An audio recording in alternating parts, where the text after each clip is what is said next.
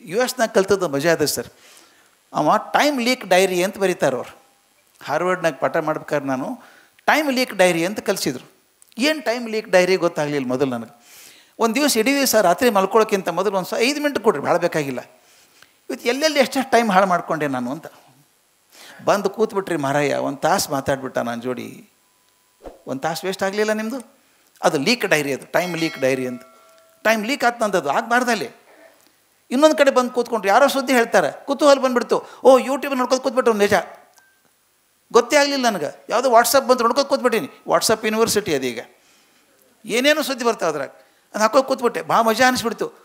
ನೋಡ್ಕೋತ ನೋಡ್ಕೋತ ಕೂತ ಅರ್ಧ ತಾಸು ಹೋಗ್ಬಿಡ್ತು. ಅಯ್ಯೋ, ಅರ್ಧ ತಾಸು ಹೊತ್ತು ಬರೀದೇನಪ್ಪ, ಮತ್ತು ಪ್ರೆಷರ್ ಆಯ್ತು ಸಾಮಾನ್ಯ ಪತ್ರಕರ್ತರಿಗೆ ಮೂರು ಸಮಸ್ಯೆ ಬರ್ತಾವೆ. ಒಂದು ನಿಮ್ಮ ಡೆಡ್ಲೈನ್ ಇರ್ತದೆ ನಿಮಗೆ. ನೀವೇನು ಇವತ್ತು ಸುದ್ದಿ ನಾಳೆ ಬರಲಿಕ್ಕೆ ಆಗೋದಿಲ್ಲ ನಾಳೆ ಬರೆದ್ರೆ ಔಟ್ಡೇಟೆಡ್ ನಿಮ್ಮ ಸುದ್ದಿನೇ ಬೇಕಾಗಿಲ್ಲ. ಯಾರಿಗೂ ಬಂದು ಹೋಗಿರುತ್ತೆ ಎಲ್ಲರಿಗೂ ಅದು. ಡೆಡ್ಲೈನ್ ಫಾಲೋ ಮಾಡಬೇಕಾಗ್ತದೆ ನೀವು. ಮೊದಲೇದು. ನೀವೆಲ್ಲರ ಟೈಮ್ ವೇಸ್ಟ್ ಮಾಡಿಕೊಂಡ್ರೆ ಡೆಡ್ಲೈನ್ ಮೀಟ್ ಮಾಡ್ಲಿಕ್ಕೆ ಆಗೋದಿಲ್ಲ.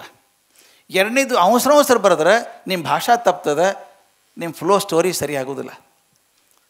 ಆಗಿದೆ, ನಿಮ್ಗೆ ಆಗಿದೆ, ಎಷ್ಟು ಸಲ ಇಟ್ಟಿರ್ತಾರೆ. ಇನ್ನೊಂದು ಬರ್ಕೊಂಬರ್ರಿ ಅದನ್ನು. ಸರಿಯಾಗಿಲ್ಲ ಏನು ಕಾನ್ಸಿಕ್ವೆನ್ಸ್ ಅದು? ಮೊದಲೇ ಸೆಂಟೆನ್ಸ್ ಕಡಿ ಸೆಂಟೆನ್ಸ್ ಮ್ಯಾಚೇ ಆಗೋದಿಲ್ಲ ಅವು. ಇನ್ನೊಂದು ಬರ್ಕೊಂಬರ್ರಿ ಅಂತಾರೆ. ಭಾಷೆ ಸರಿ ಆಗೋದಿಲ್ಲ, ಬರವಣಿಗೆ ಸರಿ ಆಗೋದಿಲ್ಲ. ಯಾಕಂದ್ರೆ ಅವಸರದಾಗ ಬರೆದದ್ದು ಅದು ಸಂತಿಗೆ ಮೂರು ಮಳ ನೇದಂಗೆ. ಇನ್ನೊಂದು ಮೂರನೇದು ಭಾಳ ಕೆಟ್ಟದ ಕರೆಕ್ಟ್ ಇನ್ಫಾರ್ಮೇಷನ್ ಇರೋದಿಲ್ಲ ತಪ್ಪು ಇನ್ಫಾರ್ಮೇಷನ್ ಹೋಗಿರ್ತದೆ. ಈ ಮೂರು ದೊಡ್ಡ ತಪ್ಪಾಗೋದು ಪತ್ರಕರ್ತರು ಬರಹದಾಗೋದು ಒಂದು ಡೆಡ್ಲೈನ್ ತಪ್ಪಿ ಹೋಗ್ತದೆ ಬೈಸ್ಕೋತಿ ಎಡಿಟರ್ ಕಡೆಯಿಂದ ಅಲ್ರಿ, ಈ ಸುದ್ದಿ ಹಾಕಿದ್ರೆ ಪೇಪರ್ ಯಾರು ಓದ್ತಾರೆ? ನಾಳೆ ಅದನ್ನು ಎಲ್ಲ ಓದಿರ್ತಾರೆ ಅದನ್ನು. ಫಸ್ಟ್ ನಮ್ಮದು ಬೇಕು. ಈ ಎಲ್ಲ ಕಡೆ ಕಾಂಪಿಟೇಷನ್ ಅದ. ಫಸ್ಟ್ ನಮ್ಮದು ನಮ್ಮ ಚಾನೆಲ್ನಾಗ ಫಸ್ಟ್ ಬಂತು. ಏನು ಹುತ್ತರಪ್ಪ ಅದು. ನೀವು ಫಸ್ಟ್ ಹೇಳಿದ್ರು ಅದೇ ಸುದ್ದಿ ಹೇಳೋದು, ಕಡೆಗೆ ಅದೇ ಸುದ್ದಿ ಹೇಳೋದು. ಆದ್ರೆ ನಮ್ಮ ಸುದ್ದಿ ಫಸ್ಟ್ ಬಂತು. ಹಂಗೆ ಪೇಪರ್ ಹಾಗೆ ಮಾಡ್ತಾರೆ. ನೀವು ಇವತ್ತಿನ ಸುದ್ದಿ ನಾಳೆ ನಾಳೆ ಬರಲಿಲ್ಲ ಅಂದ್ರೆ ನಾಡ್ದು ಯಾರು ಓದೋದು ಬಂದಿದ್ರೆ ಹಳೆ ಪೈಪ್ ಹಳೆ ಸುದ್ದಿ ಅದು ಅಂತಾರೆ. ಅಂದರೆ ನೀವು ಡೆಡ್ಲೈನ್ ಫಾಲೋ ಮಾಡಬೇಕು ನೀವು. ಮತ್ತು ಬೇರೆ ಡೆಡ್ಲೈನ್ ಮಾಡೋದಷ್ಟೇ ಅಲ್ಲ ಬರೆಯೋದು ಚಂದ ಬರೀಬೇಕಲ್ಲ. ನಿಮ್ಮ ಟೈಮ್ ಸಿಕ್ಕರೆ ಚಲೋ ಬರೀತೀರಿ, ಇಲ್ಲಾಂದ್ರೆ ಬರಲಿಕ್ಕೆ ಆಗೋದಿಲ್ಲ. ಮತ್ತು ಮೂರನೇದ್ದು ಭಾಳ ಮುಖ್ಯ ಅಂದರೆ, ನೀವು ಬರೆದಾಗ ಫ್ಯಾಕ್ಚುಯಲ್ ಇನ್ಫಾರ್ಮೇಷನ್ ತಪ್ಪಾಗ್ಬಿಟ್ರೆ ಫ್ಯಾಕ್ಚುಯಲ್ ಮಿಸ್ಟೇಕ್ ಬಂದುಬಿಟ್ರೆ, ಎಷ್ಟು ಸಲ ಆಗ್ತಾ ಅನಾಹುತ ಆಗಿಲ್ಲ? ತಪ್ಪು ಇನ್ಫಾರ್ಮೇಷನ್ ಕೊಟ್ಬಿಟ್ಟು ಮರುದಿವ್ಸ ವ್ಯಾಪಾರನೇ ಬರೋ ಅದು ಕ್ಷಮಾಪಣೆ ಕೇಳ್ಕೊಬೇಕು ನೀವು. ಒಂದು ಮರಾಠಿ ನಾಟಕ ನೋಡಿದ್ದೆ ನಾನು ಹುಡುಗಿದ್ದಾಗಿಲ್ಲಿ ಬೆಳಗಾವಿಗೆ. ಮರಾಠಿ ನಾಟಕ ಭಾಳ ಚೆಂದಿತ್ತು ಎಡಿಟರ್ ಕೂತಿರ್ತಾನೆ ಪೇಪರ್ ಬರ್ ಪೇಪರ್ನ ಎಡಿಟರು ಯಾರ ಬಗ್ಗೆನೂ ಕೆಟ್ಟದಾಗ ಬರೆದು ಬಿಡ್ತಾನೆ ಭಯಂಕರ. ಮರುದಿವ್ಸ ಬರ್ತಾರೆ ಅವ್ರು ಏನು ರೀ ಮಾನಹಾನಿ ಕಟ್ಲೆ ಹಾಕ್ಬೇಕು ನಿಮ್ಮ ಮೇಲೆ ತಪ್ಪು ಬರ್ದೀರಿ ಅಂತ. ಆತನ ಏ, ಚ ಫೋ ಫಾರ್ ನಂಬರ್ ಚಾರ್ ಅನ್ರೆ ಅಂತ ನಾವು ನಾಲ್ಕನೇ ನಂಬರ್ ಫಾರ್ಮ್ ತೊಗೊಂಬ ಅಂತ. ಬರದೇ ಇಟ್ಬಿಟ್ರೆ ಪ್ರಿಂಟ್ ಮಾಡ್ಯವರು. ಕ್ಷಮಾಪಣೆ ಅಂತ ಬರೆದಿಟ್ಬಿಡು. ಮೊದಲು ಬರೆದು ಹಣ ಹಾಕಿಬಿಡೋದು ಅವನ್ನ ಪೇಪರ್ನಾಗ ಮರುದಿವ್ಸ ನಾಲ್ಕು ಫಾರ್ ನಂಬರ್ ಫೋರ್ ಸೈ ಮಾಡಿ ಕೊಟ್ಬಿಡೋದು.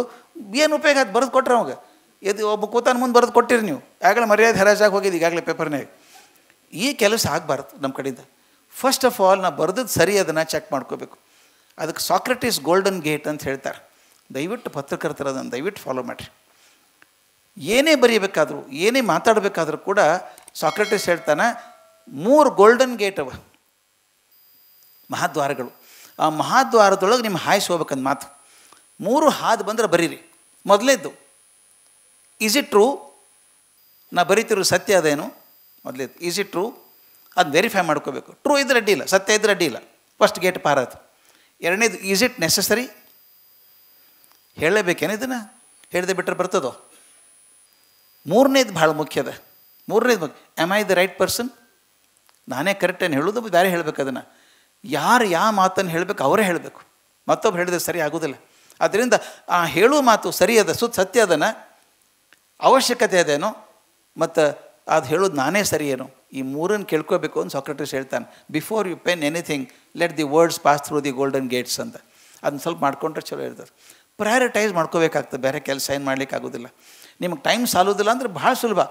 ಪ್ರಯಾರಿಟೈಸ್ ಮಾಡಿ, ಇದು ಫಸ್ಟ್ ಇದು ಫಸ್ಟ್ ಇದು ಮಾಡಬೇಕು ಇದು ಮಾಡಿದ ಮೇಲೆ ಉಳಿದ್ರೆ ಸೆಕೆಂಡ್ ಅದಾದ್ರೆ ಥರ್ಡ್ ಅದು ಹಾಕ್ಕೊಳ್ಳೇಬೇಕು ನಾನು ಈಗ ನನಗೆ ನಿಮಗೆ ಸ್ವಲ್ಪ ಅರ್ಥ ಆಗ್ತದೆ ನನ್ನ ಕಷ್ಟ.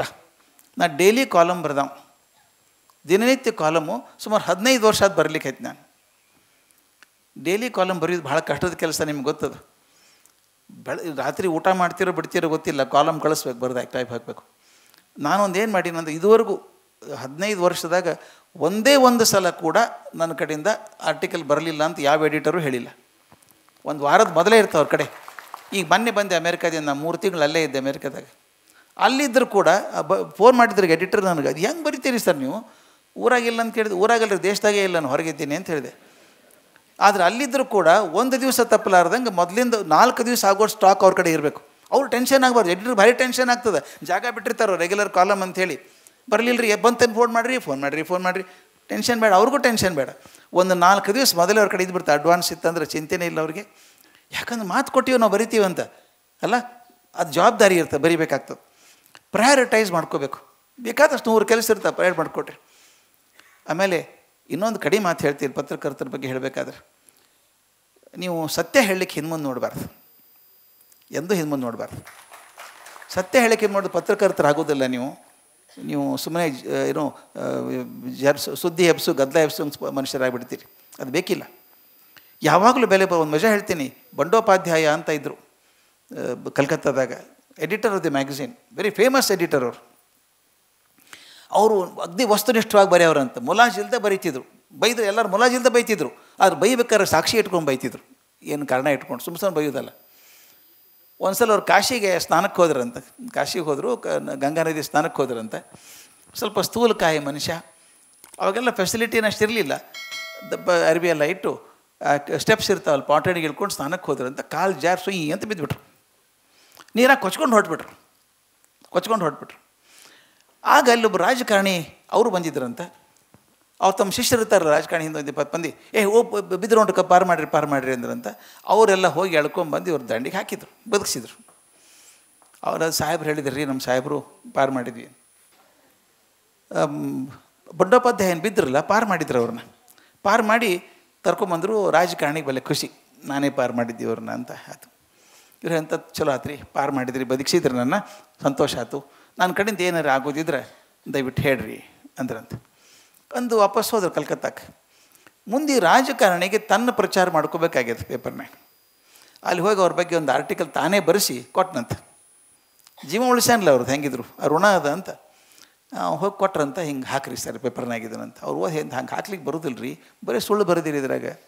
ಖರೆ ಇಲ್ಲ ಯಾವುದು? ಹಾಕ್ಲಿಕ್ಕೆ ಆಗೋದಿಲ್ಲ ಅಂತಂತ ಅವನಂತ ಸರ್ ನಿಮ್ಮ ಪ್ರಾಣ ಉಳಿಸಿದ್ದು ನಾನೇ ನೆನಪದಿಲ್ಲ ರೀ ನಿಮ್ಗೆ? ಅಂತ ಕೇಳಿದಂತ ರಾಜಕಾರಣಿ. ಅದಕ್ಕೆ ಉತ್ತರ ಏನು ಕೊಡ್ಬೇಕು? ಬಂಡೋಪಾಧ್ಯಾಯ ನಿಮ್ಮ ನೆನಪಿರ್ಬೇಕು, ಯಾವಾಗಲೂ ಪತ್ರಕರ್ತರು ಹೆಂಗಿರಬೇಕು ಅಂತ. ಅವೇನು ಹೇಳಿದ್ರೆ ಬಂಡೋಪಾಧ್ಯಾಯ ಹೇಳಿದ್ರಂತ ಹಾಗಾದ್ರೆ ಒಂದು ಕೆಲಸ ಮಾಡಿ, ಇನ್ನೊಮ್ಮೆ ನಾನು ಕಾಶಿಗೆ ಬರ್ತೀನಿ. ನಾನು ತಳ್ಳಿಬಿಡ್ರಿ ನೀರಾಗಿ ಸಾಕು. ಯಾಕಂದ್ರೆ, ನಿಮ್ಮ ಆರ್ಟಿಕಲ್ ಹಾಕೋದಕ್ಕಿಂತ ಗಂಗಾ ನದಿಯಾಗ ಹೋಗೋದು ಚಲೋ. ಇದು ಗಟ್ಟಿ ರೀ, ಮಾತಾಡ್ಬೇಕಾದ್ರೆ. ನಿಮಗೆ ನೆನಪದ ವಿಶ್ವೇಶ್ವರಯ್ಯನವ್ರ ಬಗ್ಗೆ ಆರ್ಟಿಕಲ್ ಬರೀತಿದ್ರು, ಗುಂಡಪ್ಪನವರು ಇಬ್ಬರು ಸ್ನೇಹಿತರು, ತುಂಬ ಹತ್ತಿರ ಇಬ್ಬರಿಗೂ ಪರಿಚಯ. ಮುಲಾಜಿಲ್ದ ಬರೀಬೇಕು. ಅದು ಅದು ಗಟ್ಟಿರಬೇಕು.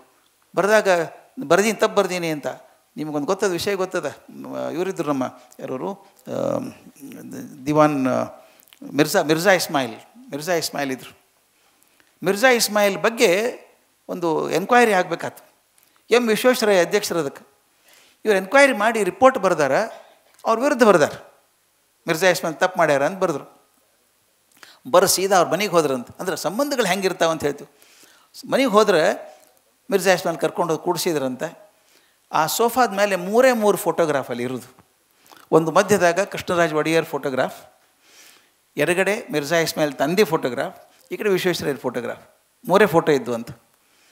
ಇವ್ರು ಹೇಳಿದ್ರಂತ ಇನ್ಮೇಲೆ ಇಸ್ಮಾಯಿಲ್ ನನ್ನ ಫೋಟೋ ತೆಗಿಬೋದು ನೀವು.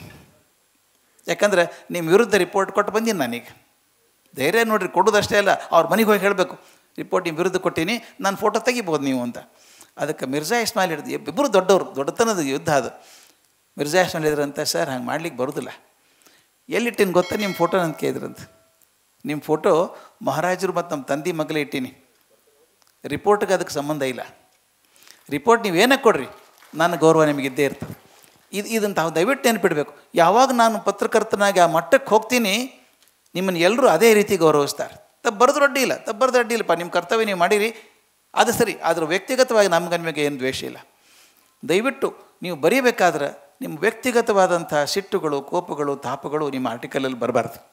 ಬಂದರೆ ಒಳ್ಳೆ ಪತ್ರಕರ್ತ ಆಗೋದಿಲ್ಲ ನಾವು ಅದರಿಂದ ಏನೇ ಬರೆದ್ರೂ ಕೂಡ ನಿಮ್ಮ ವಯ ಬಾಕಿ ವೈಯಕ್ತಿಕ ಏನೂ ಇರಬಾರ್ದು ಅದ್ರೊಳಗೆ. ಪತ್ರ, ಸುದ್ದಿ ಹಿಂಗದ ಅಂತ ಬರಿಬೇಕು. ಹಾಗೆ ಮಾಡಬೇಕು ಅಂತ ಅನ್ನೋದನ್ನು ಮಾಡಿರಿ. ಸಮಯ ಅನ್ನುವಂಥದ್ದು ಏನೂ ಕಷ್ಟ ಇಲ್ಲ. ಮ್ಯಾನೇಜ್ ಮಾಡ್ಲಿಕ್ಕೆ ಬರ್ತದೆ.